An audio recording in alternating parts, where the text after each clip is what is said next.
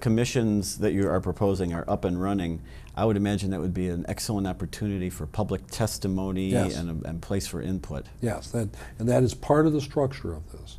The, the, there will be hearings, uh, public testimony, uh, records uh, uh, made available by the departments, and, uh, and besides uh, that, as I, I mentioned to you before, there'll be an opportunity for subpoenas if needed.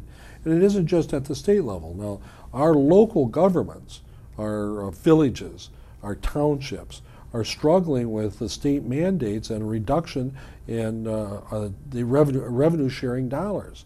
That needs to be looked at too. You know, you, we can take as a state and crush our townships and our, our villages and our cities with requirements, but that's not right, and that needs to be reviewed too. It, it makes sense in 2007 that both the state and local uh, units of government take a look at providing those efficiencies and delivery of services and avoid any duplication that you can. And We've had over about 50 commissions appointed in the last four years, not a one that dealt with uh, making government more efficient. This one's needed. Absolutely. There's, um, there's been some good news uh, on the budget front. Yeah. Uh, and you've got some legislation that uh, you've been dealing with on that. Uh, walk us through uh, what uh, that, Sure. that proposal would do. Well, in the budget agreements of last year, there were some capital outlay projects to deal with uh, uh, parks and uh, uh, other uh, campgrounds, uh, things of that nature that uh, uh, ended up getting uh, vetoed. And we've uh, uh, brought those back up again, and I happily uh, can say that some of the parks in mid-Michigan are going to be addressed. Wenonah Park in Bay County is going to be addressed. Senator Barcia had a particular interest in that and uh, helped wo- work on, on that. Uh, we have uh, two parks in Gratiot County, in my district, that are, are going to be helped, one in Ithaca and uh, another one, uh, uh, Reed Park in southwestern Gratiot County is going to get about a half a million dollars. And hopefully that'll help them build uh, pavilions and some day activities. They've got a big lake there, a man-made lake, and there'll be a chance for playgrounds and campgrounds and picnic areas. And our, uh, if you have some uh, young uh, kids or grandkids, uh, this gives them a place where they can go and enjoy uh, Michigan, Michigan's beauty. I'm glad to see that we can do that. Good. How do things look on the rest of the budget front as, as we sit here today?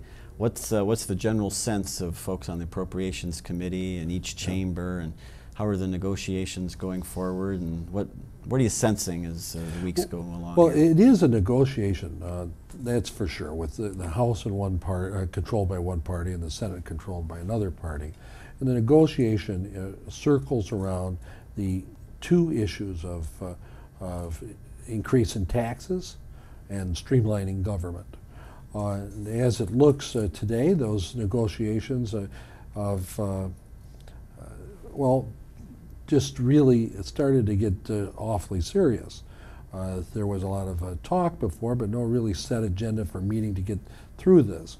Uh, that agenda has been set. There's going to be a series of meetings that I anticipate around uh, um, the 21st or so of, uh, of August that we will have target numbers for constructing the budget.